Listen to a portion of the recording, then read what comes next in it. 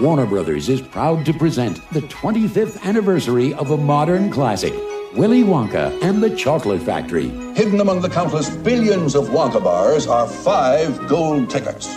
Willy Wonka's opening his factory. He's gonna let people in. I've got the same chance as anybody else, haven't I? You got more, Charlie, because you wanted more. 25 years ago, Charlie won a ticket to the most magical place on earth. All aboard, everybody. This way, Grandpa. What is this, Wonka? Some kind of fun house? Why, having fun? Remember how it delighted you? It makes everlasting gobstoppers. How do you make them? I'm a trifle deaf in this ear. Speak a little louder next time. How it surprised you? I haven't got it quite right yet. How it amazed you? Where's the chocolate? There it is. It's unbelievable. It's Wonka Vision.